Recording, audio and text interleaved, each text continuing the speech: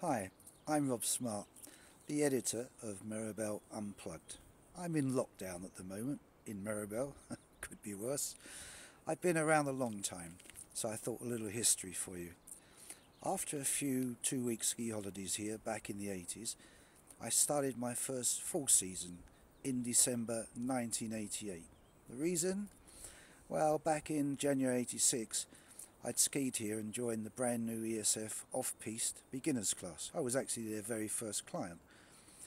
With some difficulty over the two weeks, I learnt to ski deep powder, and it was deep, two metres of it in that January. In 1988, I took my last ski holiday. I left Meribel in January of that year to fly home, having just that last morning skied all the way down to Le Praz village in Courchevel in over one metre of fresh snow. Incredible.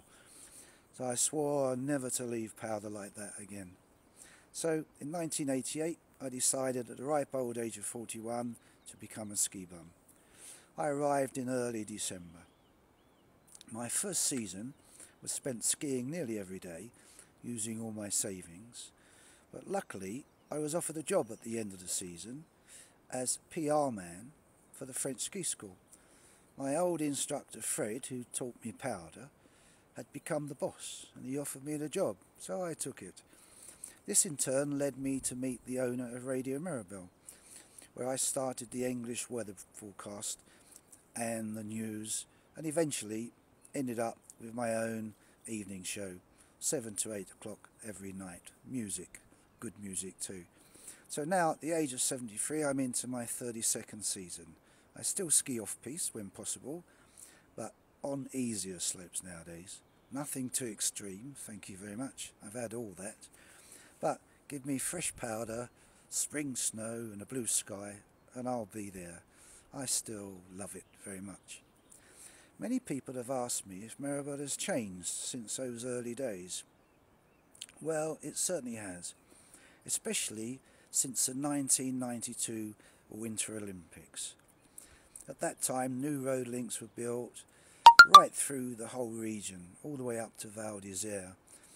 There was an enormous amount of new building done in Meribel itself. The whole of the Chaudanne area was created almost from scratch. I can't really remember what was there before. So now, of course, it includes the Olympic Centre with the ice rink, the swimming pool, etc. The new Olympe gondola was also created for the Olympics. That runs up from Brides-les-Bains down in the valley, right up to Chaudanne. Uh, Brides-les-Bains was the main accommodation area for all the world's journalists during the Olympics. And uh, new hotels were built at the Rond Point, and the whole of the very posh Belvedere area that was also built for the 1992 Olympics. It's actually hard now to remember what Meribel was like before those Olympics. It, it changed so much. It's really hard to remember the earlier days. So another question I'm asked, is it better now?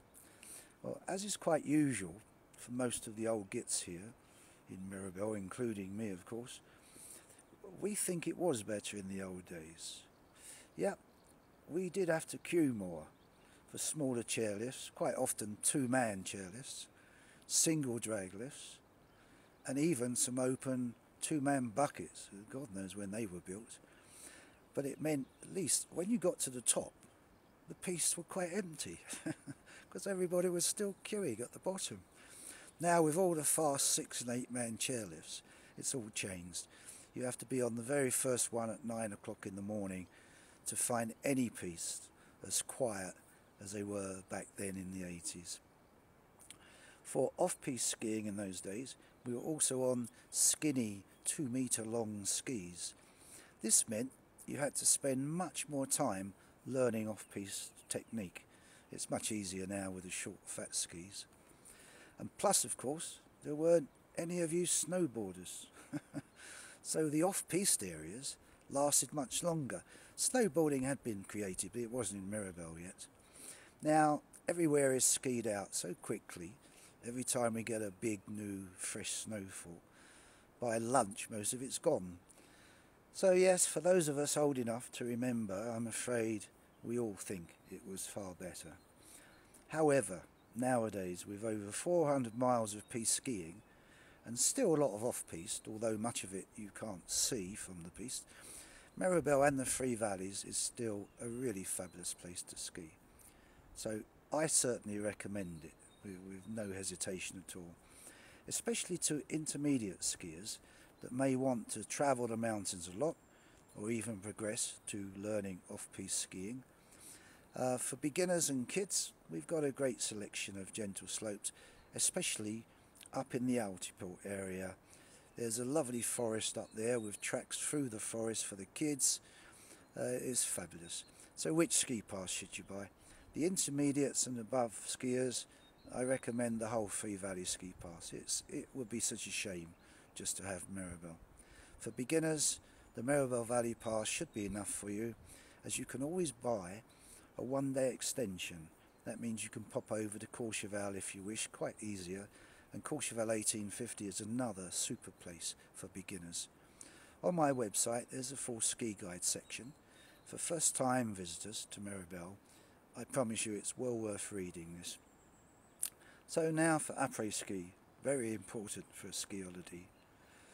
Meribel has a great selection of bars, especially catering to the Brits, and there's a load of us come here every winter. On the Saulire Mountain, there's the famous Folie Douce, a French disco bar and restaurant. Kicks off at 3 in the afternoon and closes just before 5.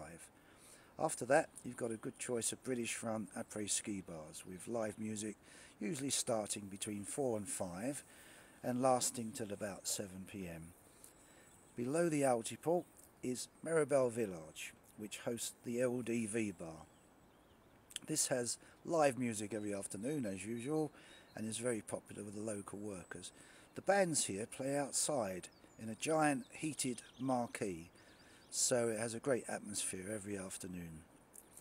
At the Rond Point area is the very famous Rond Point Bar, one of the originals. This has live music every afternoon starting around 4 or 5 as usual. Further down at the Chaudanne Centre is the new Jack's Bar right by the piste. Live music starting again around 4 or 5 to around 7. These bars have all the best bands playing in the Alps. On my website you can get a full rundown of the whole après ski scene in Meribel, but these are the three main ones with live music for the après ski. Live music at night is a bit more restricted. You've got the pub in the centre of town, the tavern opposite, and occasionally the Seretta down in Les Allues village has live music too. O'Sullivan's Disco is the most popular for the Brits. It's just down, down the hill from the town and is open till about 5 in the morning. There's loads of other nice relaxing bars in Meribel town. You can find them all on my website and in the magazine. So now, mountain restaurants, my favourite subject. Over the years I've discovered a lot of nice restaurants that are not too expensive. I've tried to find those that we can afford to eat in. You'll find these listed in my six-day ski guide, which I print every year. Uh, for new visitors to Meribel, be sure to pick up a copy. It's all over town. Bear in mind also that restaurants on the mountain have a very short season and they serve mainly only lunches. They often pay very expensive rents and they also pay an awful lot of money for their staff. This is due to the extremely high French employment taxes.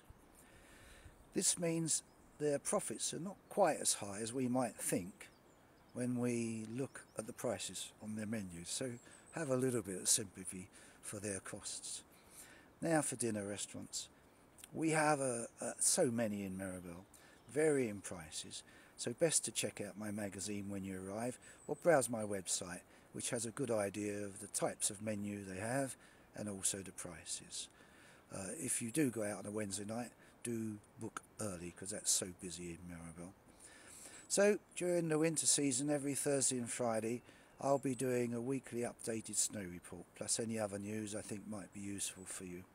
So have a good good trip. Look forward to seeing you in Meribel soon. Ciao, Rob Smart.